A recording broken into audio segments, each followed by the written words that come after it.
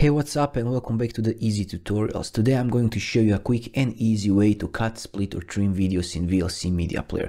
It's a simple trick that can save you time and effort when working with video files. Before we dive in, if you're into tech tips and tricks like this, hit that subscribe button and turn on notifications. It really helps the channel grow and you will never miss a new video. Alright, let's get into it. I will open my video by double click the first thing we want to do, we need to uh, enable advanced uh, options. So go up here under the view and you can see these advanced controls. If you click it, you will see that now we have this record button. And all you need to do now is to position where you want to your uh, cut or where you want to uh, start recording the part of the video. Go to, for example, we want to cut it from 5 to 10 seconds. So position it here under the 5 seconds uh, click this uh, record button. Nothing will happen so don't worry.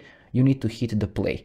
But before we hit the play make sure to stop it before the 10 second uh, count because we want to stop it somewhere over uh, around 9 seconds so we can uh, very easily uh, move frame by frame and make this very precise. So make sure that record button is enabled. Hit play.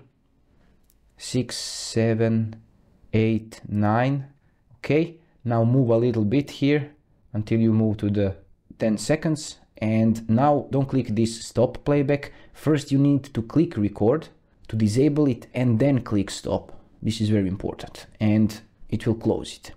And now if you close this and go to your uh, videos, you can see over here that your recording is exported.